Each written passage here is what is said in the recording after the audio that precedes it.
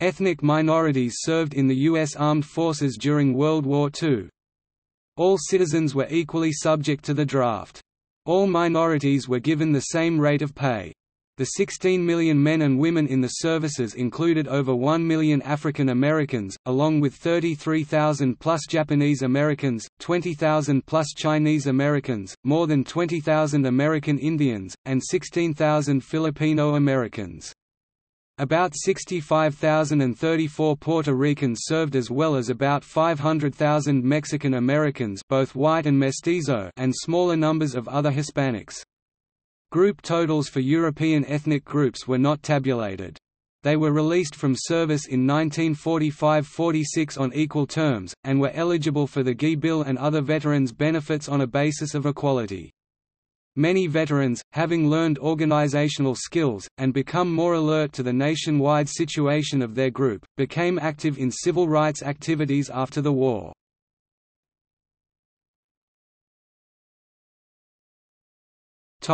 White minority participation The vast majority of the U.S. population at the time was of Northwest European descent, most prominently descending from the British Isles and Germany. A considerable number of groups legally defined as white could still be considered ethnic minorities at the time, and even separate races per the Nordicism thought popular in the United States and Northwest Europe at the time Hispanic American soldiers with significant Amerindian ancestry were also classified as «white» and exemplified by the Nazi German state that was the United States' main enemy in the war. Detailed tabulations were not kept for these groups by the U.S. military, which simply listed them all as white. Separate statistics were kept for African Americans and Asian Americans.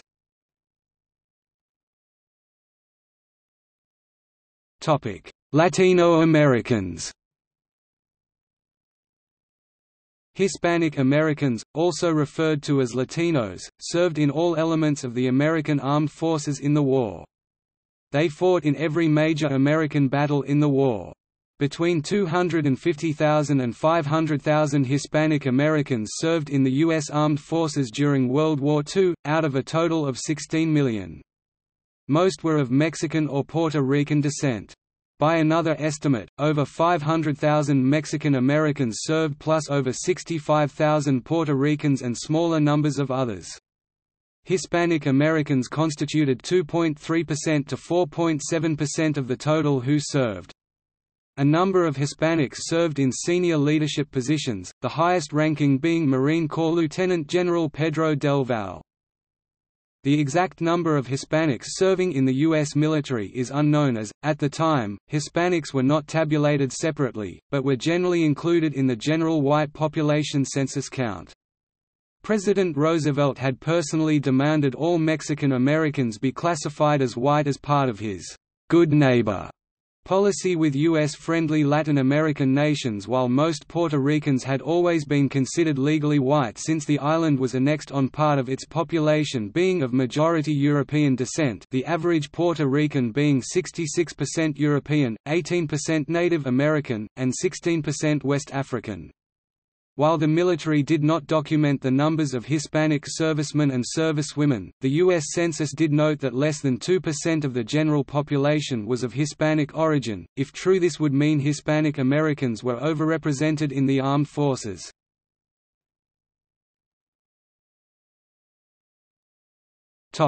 Jewish Americans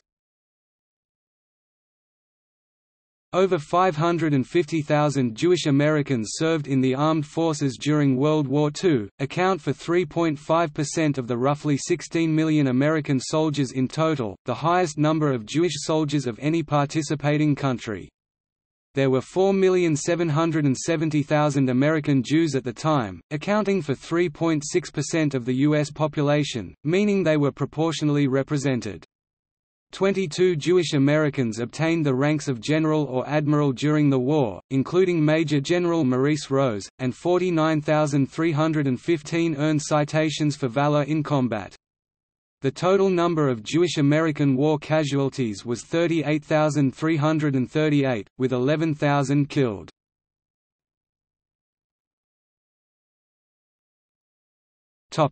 Polish Americans Americans of Polish descent were common in all the military ranks and divisions, and were among the first to volunteer for the war effort. They were heavily motivated by the Nazi policy of extermination towards the people of occupied Poland, the first country attacked during the war. Polish Americans were enthusiastic enlistees. They composed 4% of the American population at the time, but ultimately composed 8% of the U.S. military during World War II, with over 1 million joining the U.S. Armed Forces. Polish General Władysław Sikorski toured the United States in a failed attempt to raise large numbers of Polish Americans for segregated battalions, saying that they were «turning their backs» on Poland by not joining the cause.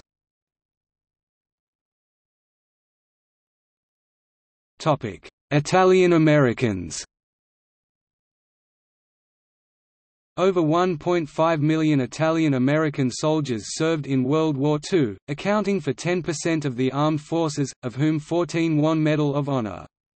While Italian Americans were in general enthusiastic participants in the Allied cause, several Italian-language newspapers were forced to close because of past support of the fascist government of Benito Mussolini.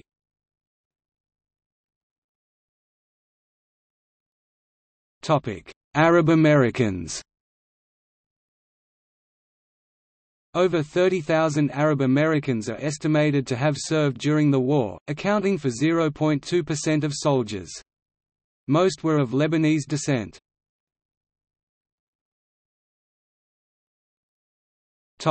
Armenian Americans During World War II, about 18,500 Armenians served in the armed forces of the United States. A number of them were decorated for their service, including Col. Ernest Dervishian, a native of Virginia, who was awarded the Medal of Honor. U.S. Marine Harry Kizirian is considered the most decorated soldier of the state of Rhode Island. Another Marine captain, Victor Maghakian is considered one of the most decorated American soldiers of the war. The highest-ranking Armenian American during World War II was Brigadier General Haig Shekerjian who had previously served in the Pancho Villa expedition and as an American military attaché in the Middle Eastern theater of World War I. He was appointed commanding general of Camp Sibert, Alabama, which was used extensively as the main training camp for chemical warfare troops, and remained in that position until 1945. Shekerjian also gave numerous speeches during the war encouraging Americans of Armenian descent to enlist.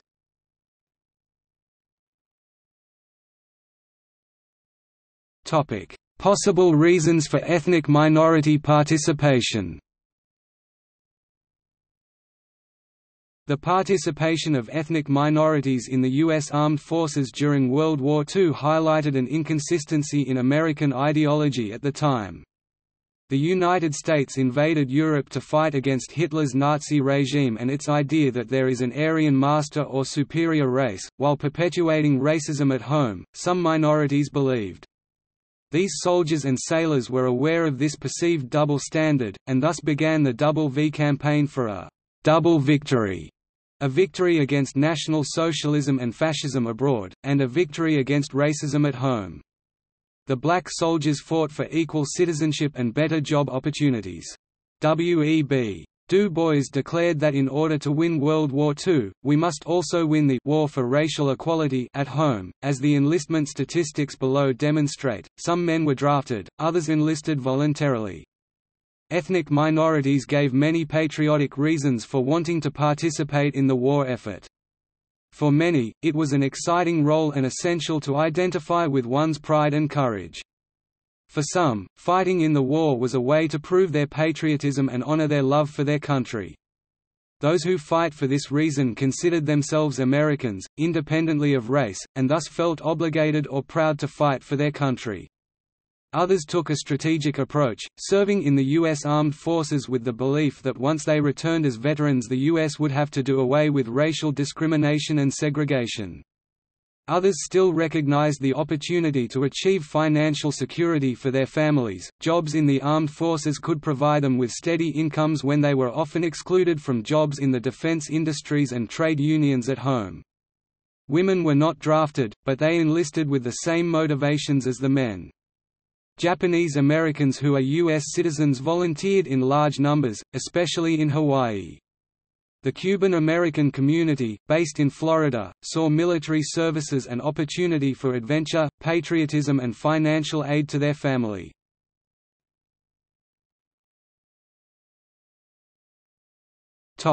Detailed instances of racial discrimination Whatever their reasons for joining, they all faced further discrimination in the U.S. Armed Forces. At the start of the war, all branches of the U.S. military were segregated. President Harry S. Truman ordered the end of military segregation with his Executive Order 9981 in 1948, but racial discrimination and segregation continued in the U.S. Armed Forces through the Korean War. Some states did not desegregate their National Guard until the mid-60s. African American soldiers and sailors were banned from fighting on the front lines, and were assigned menial tasks in place of positions in combat. However, in some cases of emergency or shortage, African Americans were brought to the front lines, including during the invasion of Normandy and the Battle of the Bulge. Mess Attendant Dory Miller left his station to fire at the attacking planes during the attack on Pearl Harbor. Some special African American units, such as the Tuskegee Airmen, also fought in combat. Many African Americans wrote or otherwise described the great disparities in treatment between themselves and white soldiers. Some of these disparities included receiving fewer provisions and poorer quality gear, and struggling with gross disorganization in command and instruction. In letters to his girlfriend back home, one African American soldier named Jim Dansby described, the colored here in camp seem to be neglected to a certain extent. We are poorly organized, and I am pretty much disgusted. I don't think they're treating us right. Additionally, there were often racial tensions between different ethnic minority groups within the armed forces. Beyond these, African Americans and other ethnic minority servicemen had to undergo their training in communities run by Jim Crow laws, enforced by local police. Dansby also described events of racial violence in the town where he trained at Camp Shelby, Mississippi, and the effect such events had upon his psyche. Honey I am telling you I'll be glad when I get away from this place. A soldier got killed in town last night, also the night before. The one that was killed the night before was found by the railroad tracks with his head cut and arm almost cut off. These soldiers down here are really bad, so anything liable to happen.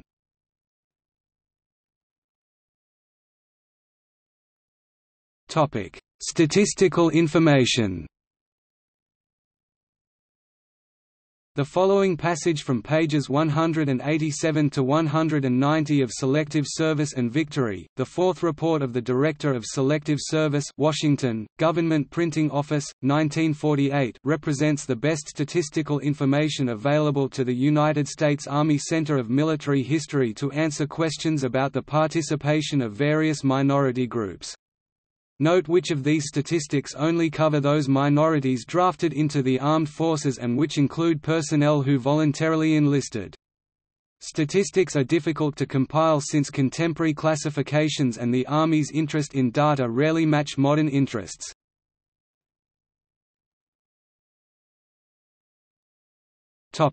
Minority groups Another special problem of great importance in selective service operations was the mobilization of black Negro registrants and other minority groups of this nature. The main difficulty here was securing the induction of men who were found 1 to be available by the system and 2 to be qualified by the armed forces physical examination. There were, of course, other problems as evidenced by the following treatment of the matter for the period extending from July 1, 1944 through December 31, 1945. Topic: 1 million African American inductions. Blacks were an important source of manpower for the armed forces in World War II as is shown by the fact that a total of 1,056,841 African American registrants were inducted into the armed forces through selective service as of December 31, 1945.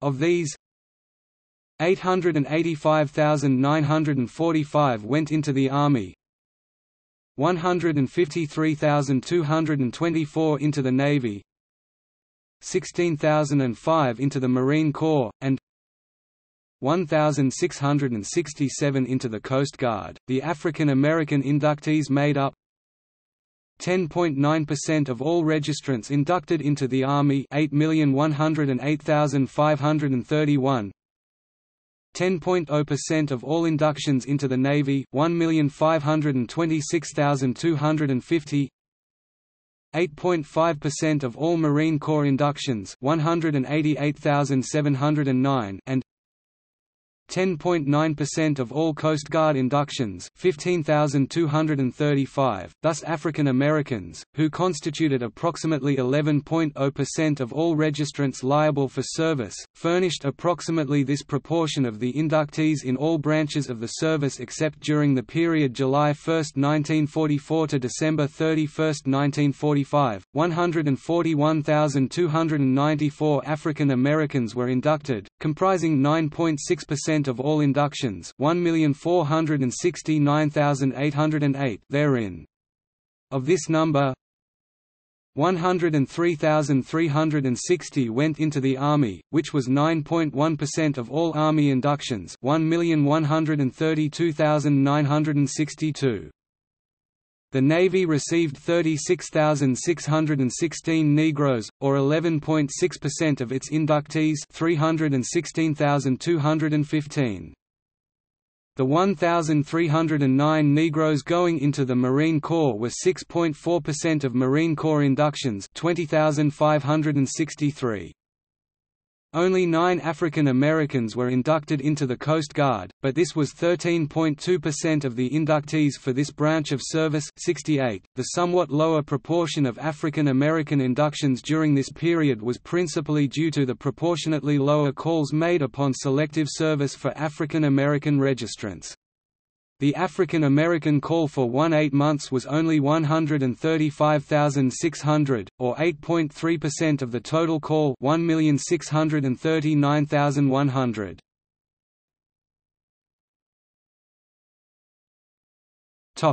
Inductions of other minority groups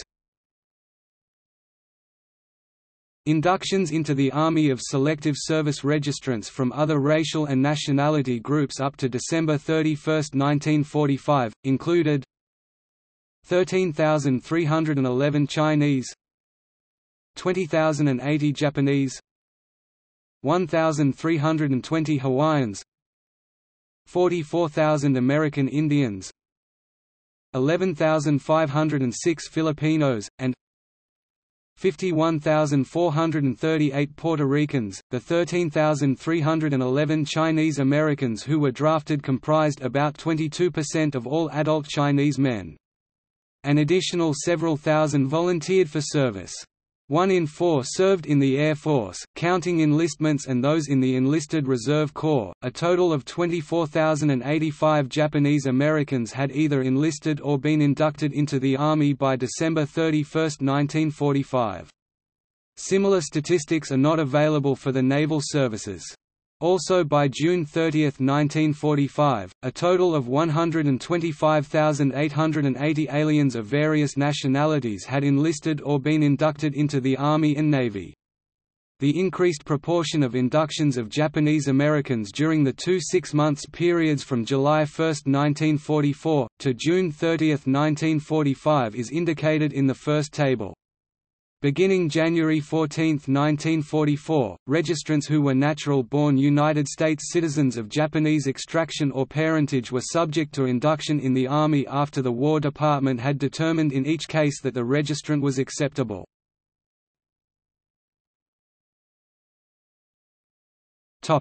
African American enlistments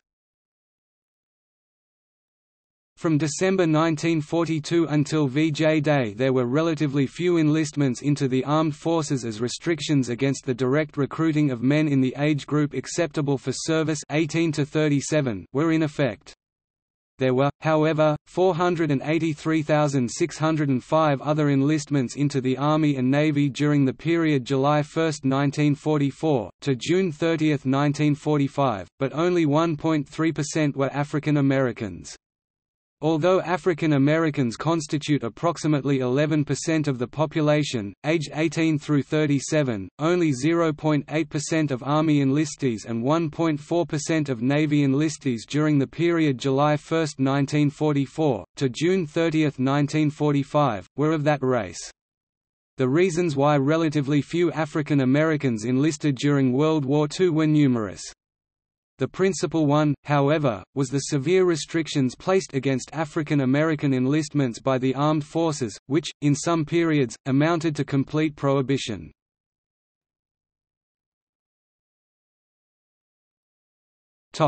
Army inductions by race, July 1, 1944 to December 31, 1945 United States and Territories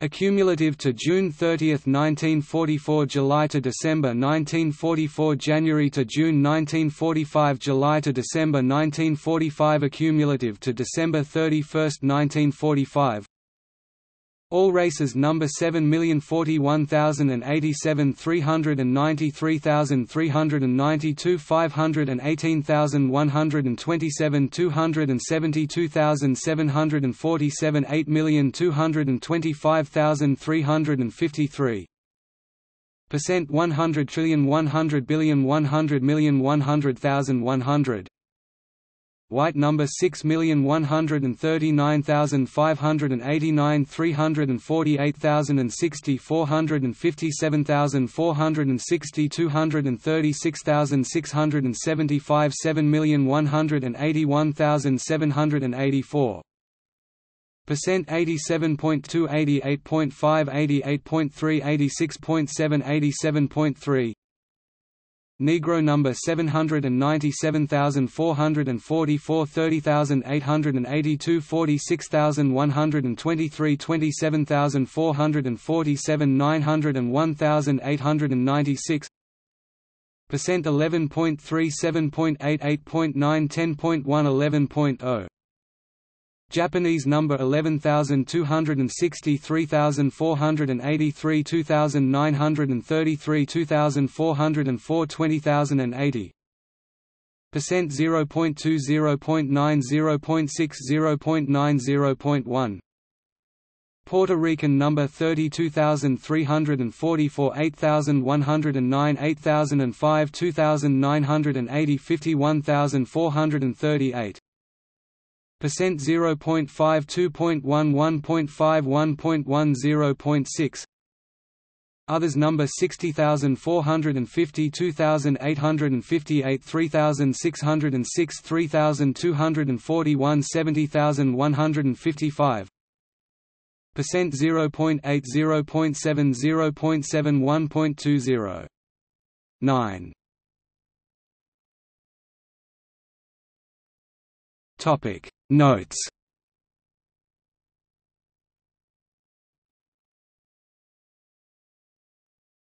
Topic. See also.